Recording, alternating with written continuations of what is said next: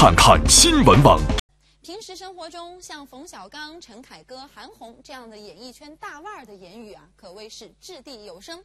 而在两会这样事关民生和国家大计的重大场合中，身为演艺工作者的他们会采用怎样的态度呢？我们总结了一下，有的仍旧是言辞犀利，让人拍手称快；而有的呢，则小心谨慎，真让人为你们捏一把汗。自己反省一些东西，更加努力吧。你骂自己是个屌，你别天天顶着这屎盆子在脑袋上。明星走两会应该算是最近最火爆的关键词了。听到以上的犀利言论，相信你也找到了明星走两会的火爆原因了。细细一看，这文化圈、娱乐圈中的口水王和犀利弟基本都在名单之内，可谓爆点多多。一位位语不惊人死不休的主参加两会，又会是有怎样的犀利言辞呢？演员陈道明就表示，抗日影视剧娱乐化是在胡闹，我们可以演绎历史，但不能扭曲历史。巩汉林则对当政协委员的感受做出以下表示：有的提案说了十年都没下文，一句话直中要害。而一贯行事果敢的歌手韩红则表示，哪个明星委员不交提案，我认为他就可以回家了。不只是因为韩红的言辞太过直接，还是明星委员们都自己做足了功课。在之后的采访中，每一个明星都可以将自己的提案说得头头是道，不再藏着掖着。关注进城务工人员员工生活。关于遏制这个拐卖儿童的一个一个提案。当然，韩红自己也不甘落后，今年一提就是两个，今年已经坚持第三年了。反正今年是两个案，一个是儿童福利的修正，另外一个就是关注这个关注农村留守儿童的事情。因为我我提留守儿童的事情已经提了两年了，我今年准备第三次再提。当然，在众多委员当中，也有很多选择躲开记者的围追堵截。我们的诺贝尔文学奖大赢家莫言先生就是其中的佼佼者。在写新新书吗？现在也没有写啊。最新的一个作品是讲什么的？莫言老师，您为什么不说话？我有提案都被挤掉了。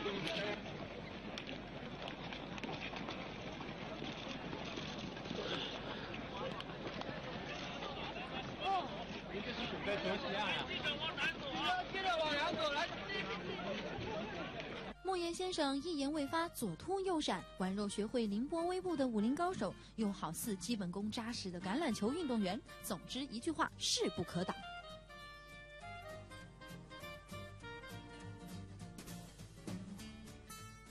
从各位明星委员的话中，我们不难发现，他们中的大部分关注都是最贴近生活的民生话题。从衣食住行到健康生活，央视名嘴崔永元就给我们解释了一下，什么才是真正的民生。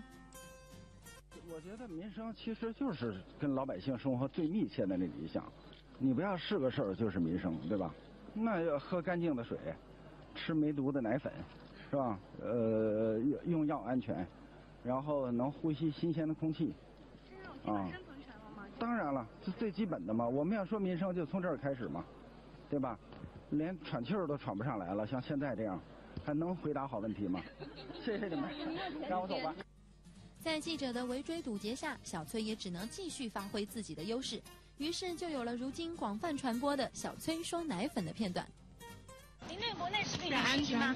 我没有信心，我我觉得我觉得要有信心，大家就不去香港去带奶粉了。对吧？嗯，呃，我觉得媒体的注意力注意力哈，别老集中在香港不让带奶粉这件事情上，也应该注意注意，就是我们自己的消费者为什么不信任我们自己的奶粉？尽管呃有数据表明说百分之九十九都不合格，都合格。但是呃都呃都都都合格，但是我觉得我揣摩的数据哈。差不多也就有这么这么样一个数的人不相信国产的奶粉。当然，面对奶粉问题，来自香港的全国政协委员霍震霆也表示，将加强两地的交流才是最重要的。所以刚才我谈到这方面，最近很多小事 就是就是买奶粉的变成一个很注目的。反过来，我觉得已经很多届了。第一方面呢，看到国内很大的发展，啊，香港的发展离不开国家对我们支持。我觉得是不是加强两地这个交往呢？其实，现在奶粉安全或者食品安全问题已经不仅仅是简单的民生问题，而是人民信任的问题。崔永元也表示，其实这事儿说着简单，做起来挺难。摧毁信心可能就一下，树立信心却需要很久。所以，所以我觉得真是呃，怎么让大家对这个奶粉树立信心哈？昨天晚上我还在想这事儿，这可能不是奶粉的事儿，是所有中国产的食品和药品安全的问题。啊，它是一个整个嗯一个链条的大家的不信任，嗯，呃一一旦我觉得大家信任我们其他的食品了，信任呃其他的药品了，奶粉的问题也就迎刃而解了。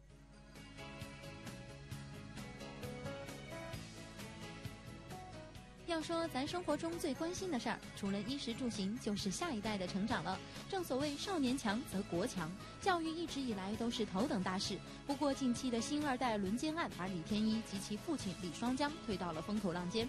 对于下一代的教育问题，明星委员陈凯歌就直言：谁也别太拿自己当回事儿。哎呦，那那真得管，不不好好管不成那个，呃，必须得必须得必须得好好教育，你知道吧？